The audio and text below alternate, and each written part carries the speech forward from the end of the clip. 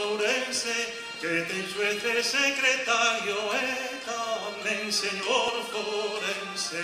Cheo de uve de amor, era un balcán fermosiño, era en Galicia unha frolega, castrelo do miño, hasta que chegou o día, nunha mañá moi fermosa, en que chegou a Castrelos o conde señor Fenosa.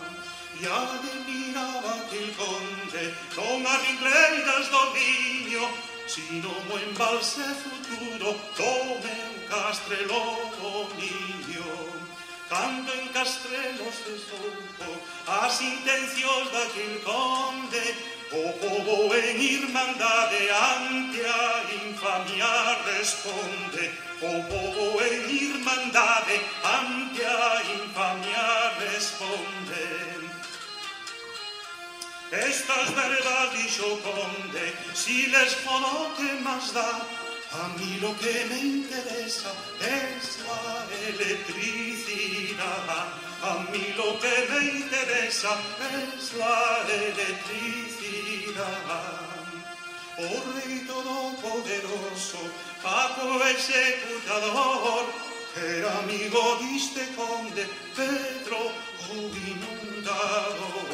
per amigo diste con de Pedro, oh inundador, que el embalse se construya, y Sopaco entusiasmado, alimando cabaleiros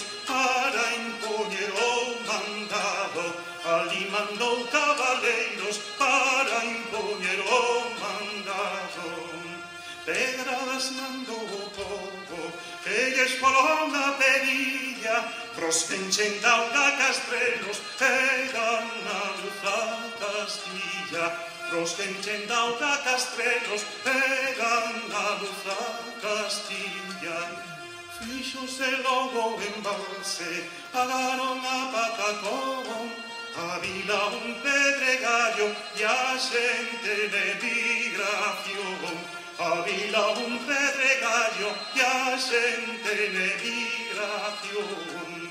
Esta foi a triste historia dun pobo nosomense que ten xuez secretario que tan en señor